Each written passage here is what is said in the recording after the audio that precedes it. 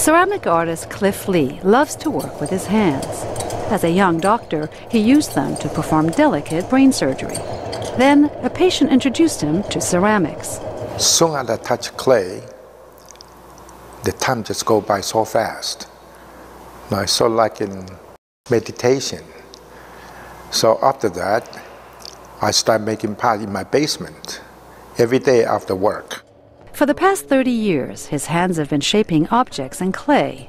While he sees parallels between being a surgeon and a ceramic artist, he says there are differences. Well, the clay doesn't talk to me, and there's no liabilities. In case I make mistake, I can redo it over and over again.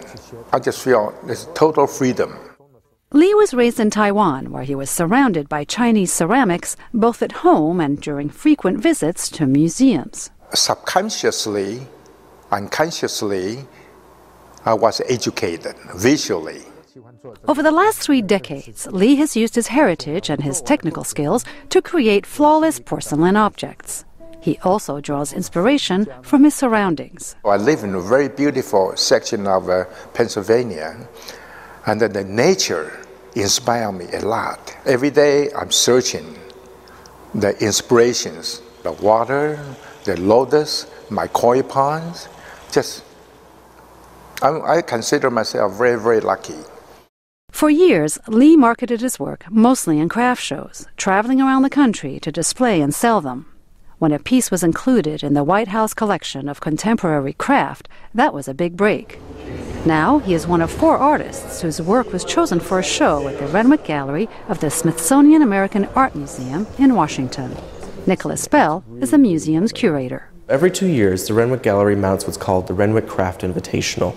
It's where we look at uh, trends that are emerging in American craft and look for some of the artists that we think are the best to illustrate them and people that are deserving of broader national attention. This is some of the most exquisitely made work I've ever seen in clay. Lee spent years investigating how Chinese glazes were made centuries ago, and then set out to recreate them using his knowledge of chemistry. Probably his best known glaze is the imperial yellow glaze, which was originally discovered in the 15th century and was so rare and hard to create, uh, and the yellow was such a pure color that it was reserved for use by the imperial court in the Ming dynasty. Cliff spent 17 years recreating that glaze from scratch, failure after failure after failure until one day he opened the kiln door and it came out perfectly. Forty pieces of his work are on display at the museum, including his signature yellow imperial pottery. Lee says being at the Renwick is the highlight of his career. 30 years ago, I came to the Renwick Gallery. I said, I'd like to have my exhibit here someday. And over years, I just work, work, work, and uh, I'm very, very fortunate being selected by the panels. And obviously grateful. If you set your mind to, you can do anything you want, and the sky is the limits. I learned all this in the United States. I got all my resources in the United States. I owe so much to this country.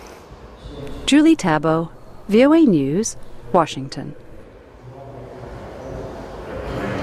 Yeah. There's two spots behind me, actually. Gets see, which is